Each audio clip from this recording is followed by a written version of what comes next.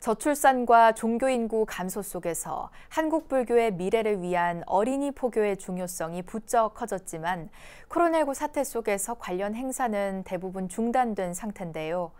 이런 상황에서 어린이와 청소년에게 불연을 맺어주는 수계 살림이 빛골 광주에서 열려 눈길을 끌었습니다.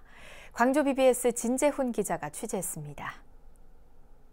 살아있는 모든 생명을 내 몸과 같이 사랑하겠습니다.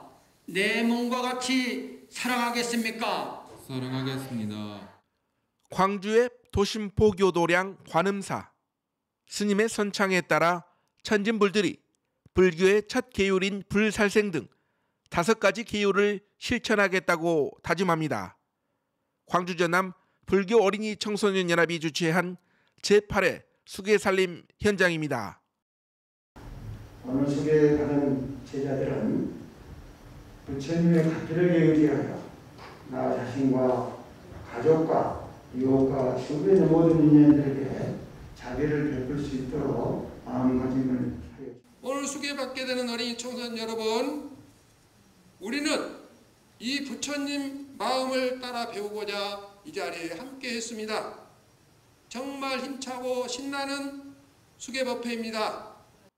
수계 제자들은 증명법사 스님들께 삼배의 예를 올립니다. 법사 스님들은 삼보사찰에서 합수한 청수를 수계자들의 정수리에 찍어주는 관정과 연비의식을 해주며 부처님의 제자가 됐음을 증명합니다.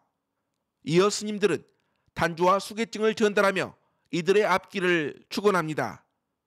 어엿한 불제자가 된 어린이와 청소년들은 부처님 법을 거울 삼아 올바른 삶을 살아갈 것을 발언했습니다.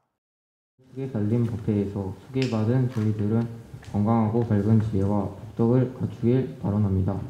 불연을 맺고 부처님의 제자가 된 20여 명의 천진불 그들의 해맑은 미소에서 청정한 불성이 한가득 피어났습니다. BBS 뉴스 진재훈입니다.